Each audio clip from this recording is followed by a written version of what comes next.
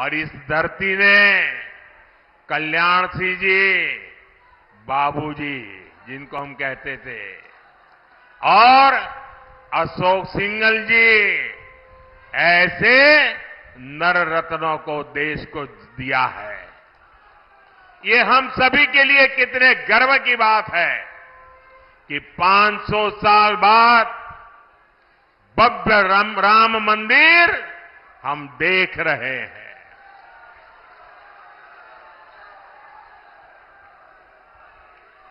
और जब भव्य राम मंदिर की बात आती है ना तो उनकी नींद उड़ जाती है।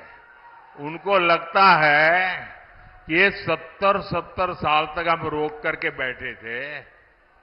ये मोदी क्या आ गया?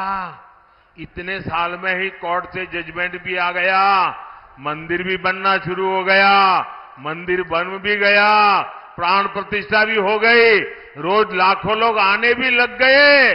अब इनकी नींद उड़ गई है, मैं क्या करूँ बताओ? और इसलिए इतने गुस्से में है, ये इतने गुस्से में है कि प्राण प्रतिष्ठा के निमंत्रण को ठुकरा दिया। कोई ऐसा करेगा क्या?